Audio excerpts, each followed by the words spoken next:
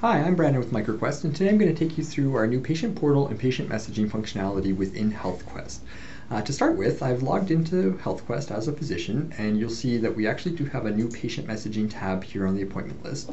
Uh, this will show you any uh, messages that have come in that you can deal with as a physician that have been signed to you. Uh, at the sidebar as well, you might notice that we have a patient messaging option here, and clicking that will show you any new conversations that come in. But before we get to that, we're going to take you through inviting patients in and showing how they can initiate messages. So if we go to the client card and we want to invite a specific patient, we'll use Aaron Hendricks here. You'll see there's a new link here at the top that says send patient portal invite. Uh, this will show up as long as they have an email address, which we have here. So we'll go ahead and click that. And then you are given by default a conversation message that will invite the patient. It has uh, their patient name, clinic name, uh, the invite information, all that kind of stuff that you'd expect. This can be customized, but we have one that is well formatted and everything right off the bat. So I'm just simply going to click send here, and that will send the message off to Aaron. You'll see you get the email successfully. And then if we pop over to Aaron's email here, you'll see that we actually do have this invite sitting right here. And if we click on that, she can have the option here to sign up for that patient portal. That's what the, uh, the patients themselves will see. So clicking that sign up for patient portal link will bring us into the patient portal where they have to verify their information. This does have to match the information on the client card. So we'll do Erin Hendricks here. Her PHN is 25660. And then her date of birth is 1978. Uh, December 25. She is a Christmas baby do that and we'll just generate a password for her. Uh, it does have to be a strong password and we can give some hints and stuff there, but uh, everyone's pretty used to those kind of things these days. And of course the terms of service, just simply agree to those and we will register. The patient is now into it and they will be presented with this, uh, this window here. Now this does work off of mobile devices so they can use their phone or their tablet uh, as well as of course a desktop computer. Uh, clicking messages here at the side will allow us to create a new message and adult patients are always presented with this disclaimer, this disclaimer, excuse me, whenever a um, they try to create a new message. You can customize this within HealthQuest, I can show you afterwards, but uh, for the moment we do have a default one that just simply states that it's non-emergency communication. If we click OK there, um, they do have the option of choosing the location if you have multiple sites within HealthQuest, and then they simply compose it very much like an email. So here we're going to ask for uh, resend um, requisition, and just say, can you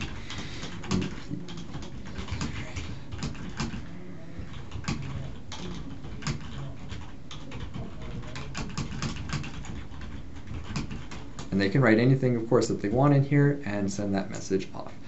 That is now sent off to the clinic, and if I flip back to HealthQuest, you're going to see that uh, on our side here, we have one patient message that's come in. If I click that button, It'll be in here. I'm just looking at the closed ones. Any new ones, you can see it's unassigned, and here's that message from Aaron.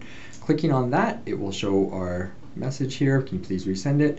You can assign that to a specific doctor or employee within the clinic. We'll choose Dr. Bonner here. Uh, and then he can simply reply. So he'll reply to that and say, please see attached.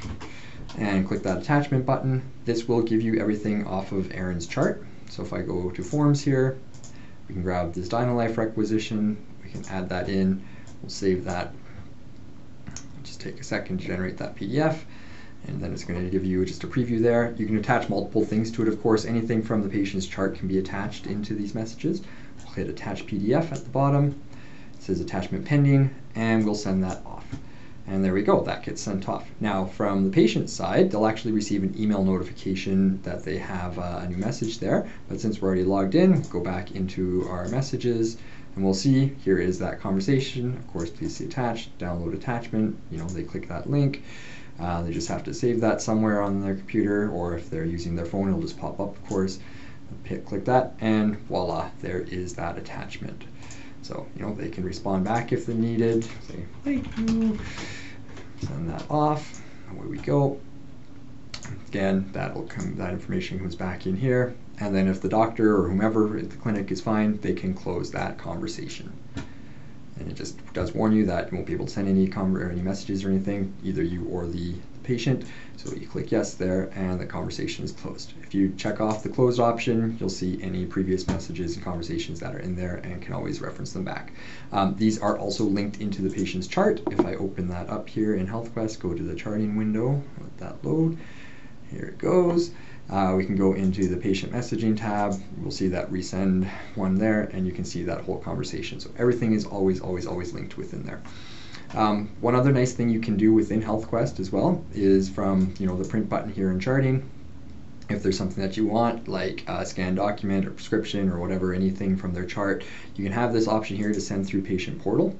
Uh, when you hit print there, it'll give you the option to then send that or attach it into, into a conversation. You can create new conversations right off the bat as well. If I click that here, I'll quickly show you back to HealthQuest. It's going to give us the information. So right here it says create a new conversation and attach or attach to existing conversation, which we don't have any because they're all closed at the moment, but you can do either one. So you do have that option to be able to send stuff from there. Um, you can do that from letters and other areas within the within HealthQuest as well. So kind of neat. Um, it gives you that virtual care conversation within the patient, and uh, everything is secured and stored nicely within HealthQuest itself. Um, one thing to quickly look at, I mentioned the disclaimer. So if you go into program setup here, and I believe that is under patient portal right here, so admin patient portal. Uh, you can change the disclaimer right here and just set up the information. So for example, if I put Boardwalk Clinic in here, that'll start appearing on that portal and let us do uh, um, just show up where needed. And of course, change that disclaimer as necessary. So that can all be done right there. The other thing I wanted to quickly walk through is just doing mass invites. Of course, doing one patient at a time is nice, but that's going to take a long time. So if you use the uh, Statistics Client List Manager, you can actually send invites to a mass group of, of patients. So I have one here, that's the Dr. Bonner panel, uh, and that was generated using the queries button and then building out a, a panel one here where I simply have the default doctor is Dr. Bonner, so when I run that query, it's going to give me the all the patients, and then you can use that query for a list. That'll pull it all back in here, and I have them all here, and you can see all, all the patients with these emails. Now you can individually select ones that you want and click send email, or if you've got some selected and you click up at the top here, you can select the entire list and send email. And what that'll do is it'll give you the option here to do your patient portal invite. And you can see it says 205 emails. That's for all of those individual patients.